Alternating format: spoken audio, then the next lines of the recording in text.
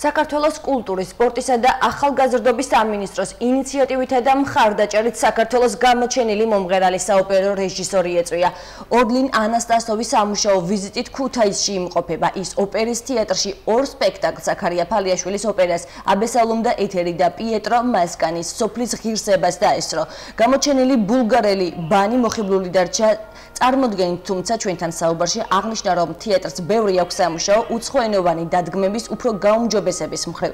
მისი აზრით თუ თეატრი დაიწყებს სწორი მიმართულებით მუშაობას, შედეგებიც შესაბამისი იქნება. ორლინ ანასტასოვი ქუთაის 10 ნოემბერს ეწვია და ის ქალაქში 4 დღის განმავლობაში დარჩება.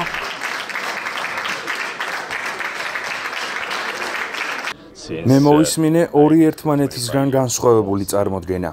აბესალომ და ეთერი იყო ჩინებული დადგმა. იმის მიუხედავად, რომ ჩვენთვის გაუგებარი იყო ენა და სიტყვები მუსიკამ და შესრულებამ, ძალიან დიდი შთაბეჭდილება დატოვა. ხოლო რაც შეეხება ოპერას სოფლის ღირსება, ვფიქრობ, რომ ცოტა ცვლილებები დაგვჭირდება, რათა უფრო დაიხვეწოს იტალიური სტილი და გავთვითცნობიერდეთ ამ მიმართულებით. იმისათვის, რომ ვაწარმოოთ ხაჭაპური, გვჭირდება კარგი ხარისხის ფქვილი და მე მჯერა თუ თეატრი დაიწყებს სწორი მიმართულებით მუშაობას, შედეგებიც არ დააყოვნებს.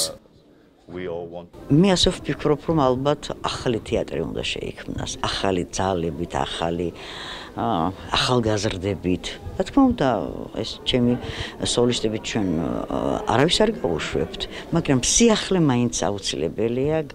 ორკესტრი გაახალგაზრდდება, მომღერლებს მოვიწვევთ და ნუ მე ძალიან დიდი იმედი მაქვს ამ ბატონის, იმიტომ რომ ძალიან დიდი მომღერალია.